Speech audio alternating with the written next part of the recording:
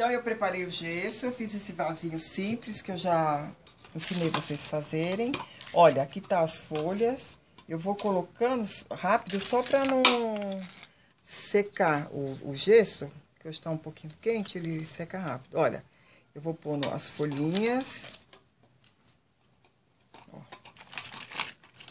Essa aqui eu fiz maior, para dar um destaque, olha. Essa aqui também maiorzinha. Eu vou preenchendo do jeito que eu achar... Melhor. Melhor, isso, querida, do meu gosto. Aí, eu já coloquei elas aqui em volta. Vou colocar essa aqui mais pra baixo. Sim. Tá aqui. Aí, eu preparei os antúriozinhos, olha, branco. Eu vou fazer, deixar ele maior. Então, eu vou cortar com a haste grande. Olha. Vou cortar. Ela é um pouco ruim para cortar depois que, a gente trabalha com a vela. Olha. Vou pondo aqui. Depois que preparar o gesso, a gente precisa ir um pouquinho mais rápido, porque ele seca rapidíssimo. Olha. Por aqui.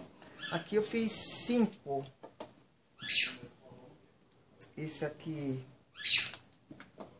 vou aqui.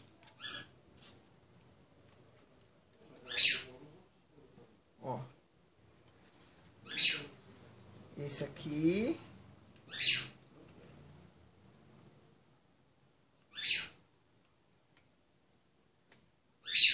E esse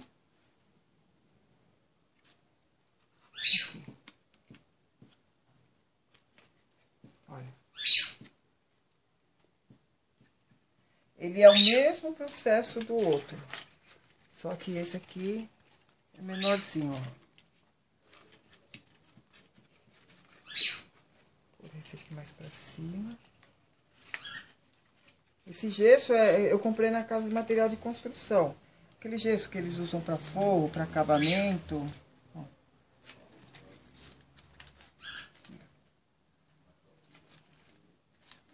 Certo? Olha. Tá aqui o vasinho.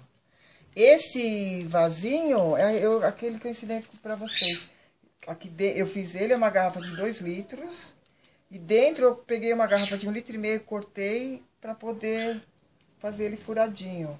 É com essa tinta, eu usei aqui esse vinho, olha. Muito lindo, é acrílica fosca. Certo, gente? Então é o que eu queria explicar para vocês. Olha, super simples. Tá aqui a flor de antulho. Eu vou colocar lá o molde a folha. Olha, folha que eu cortei. Assim vocês preenchem. Certo? Então, nós ficamos com esse aqui maior e esse menorzinho.